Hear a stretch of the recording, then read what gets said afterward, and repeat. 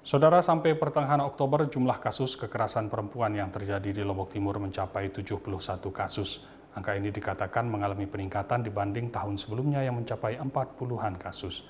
Meski demikian, naiknya angka laporan tersebut dinilai patut disyukuri karena menandakan semakin banyaknya perempuan yang berani untuk melapor.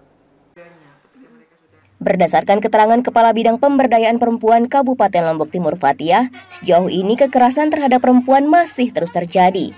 Jika berkaca di tahun lalu, kasus kekerasan perempuan masih didominasi oleh tindakan kekerasan dalam rumah tangga. Di tahun lalu disebutkan jumlah kekerasan terhadap perempuan mencapai 41 kasus dan di tahun ini jumlah laporan dikatakan telah mencapai 71 kasus. Angka ini dikatakan lebih banyak dari tahun sebelumnya, yang menandakan bahwa semakin banyak masyarakat yang sadar untuk melaporkan kasusnya.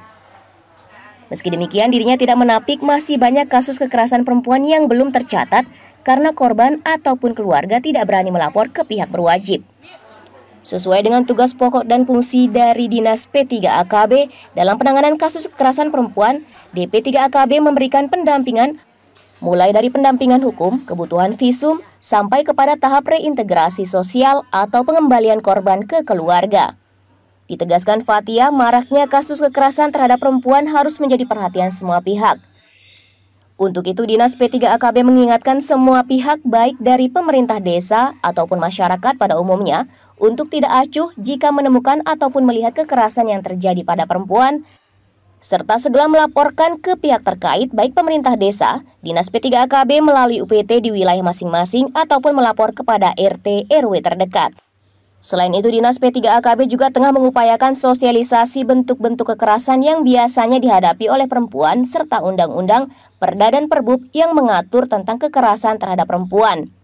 Untuk saat ini, sosialisasi bentuk kekerasan dan undang-undang kekerasan perempuan masih belum bisa menyasar seluruh penduduk Lombok Timur.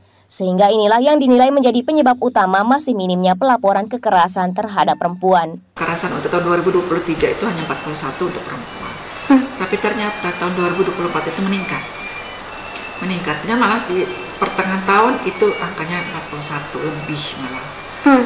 itu setengah tahun pertengahan tahun belum di akhir tahun mungkin dua kali lipat kan nah itu kalau kita melihat fenomenanya kenapa terjadi di samping mungkin karena speak up-nya baru tahun ini beraninya tetapi juga banyak e, kasus baru yang muncul hmm. jadi dari laporan ke UPTD itu banyak kasus baru dan juga banyak kasus lama yang baru berani speak up di tahun ini. Baik Silawati Abdul Aziz, Selaparang TV melaporkan.